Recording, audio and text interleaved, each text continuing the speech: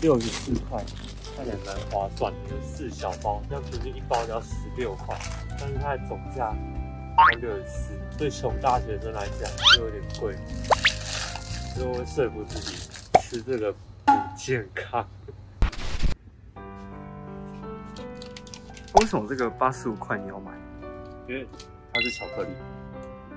现在有个世纪大发现，金苹果原价六十，哦，这个原价八十，它现在已经特价六十四了。这个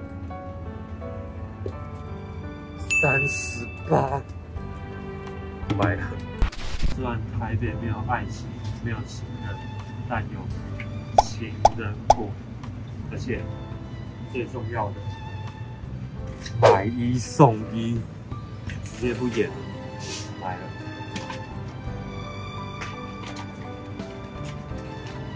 最近万圣节快到了，小恶魔南瓜饼干原价七十五，特价十八，省了十八，十七块，跟着省了十七块，等下回去的车钱就省了。超市的我的超人，就这样。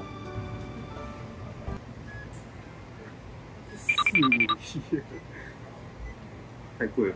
我刚事后越想越不对劲，怎么会到四百五十一呢？他情人果没有给我算买一送一，他给我算了两盒的价钱。我就要回去找他理论，他还敢骗我，我是谁？超市人不能被瞧不起。我这个情人果我买一送一，然后他送了两盒，这样。结果他那个活动说已经结束了，但是他还是算给我买一送一。